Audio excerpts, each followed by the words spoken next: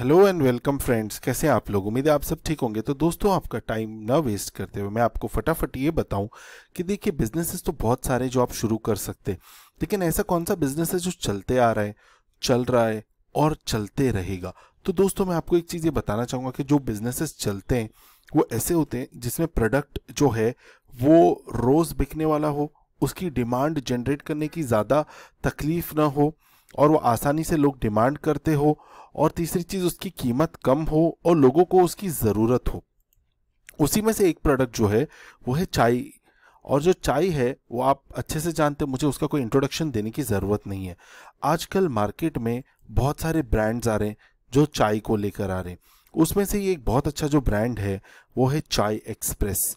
तो दोस्तों, ये जो चाय एक्सप्रेस ब्रांड है, इसके बारे में मैंने थोड़ी सी रिसर्च की है और मुझे ये पता चला है कि ये एक काफ़ी बढ़ता हुआ ब्रांड है।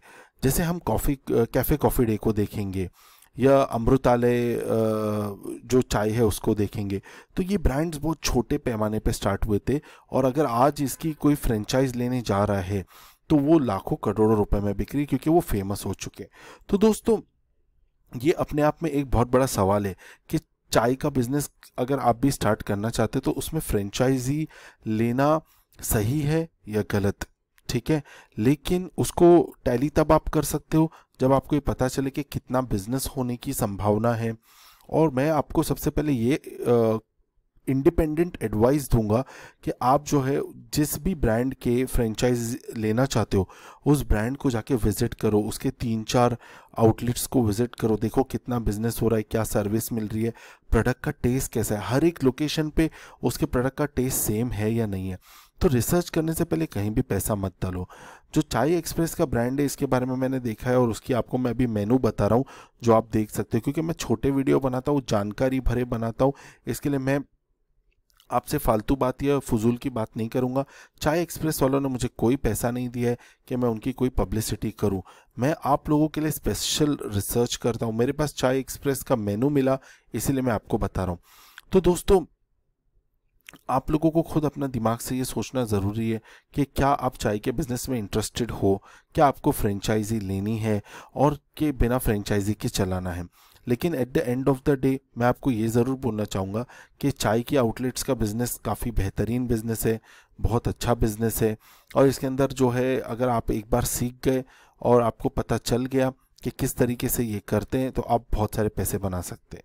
और उसके लिए अगर आप चाय की ऐसी दुकान खोलना चाहते हैं, जैसे ये चाय एक्सप्रेस है तो आप इनकी फ्रेंचाइजी भी ले सकते हैं और इनका नंबर दिया हुआ है स्क्रीन पे। तो दोस्तों, मुझे उम्मीद है ये वीडियो आपको अच्छा लगा होगा।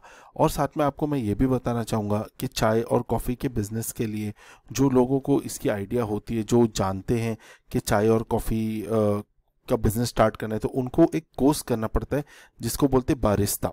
तो बारिस्ता कौन होता है जो चाय और कॉफ़ी बनाते हैं? और इनको स्पेशल ट्रेनिंग दी जाती है चाय और कॉफ़ी बनाने के बारे में।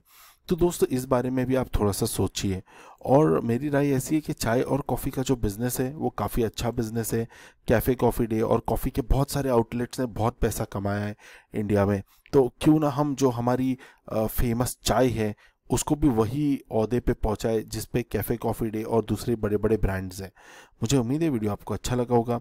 थैंक्स फॉर वॉचिंग अगर आपको कुछ कमेंट्स करना है तो आप नीचे कर सकते हैं, ये बताने कि आपको ये वीडियो कैसा लगा।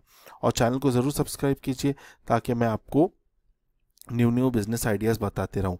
और जाने से पहले ये भी बताना चाहूँगा आपको कि अगर आप जो है वो फ़ूड लाइसेंस एफएसएससीआई लाइसेंस बनवाना चाहते हो या जीएसटी रजिस्ट्रेशन करवाना चाहते हो या लोगो रजिस्ट्रेशन करवाना चाहते हो तो आप हमसे कांटेक्ट कर सकते हो। मेरा नाम है समीर और मेरा नंबर है nine zero two nine zero nine three four nine four thanks for watching bye bye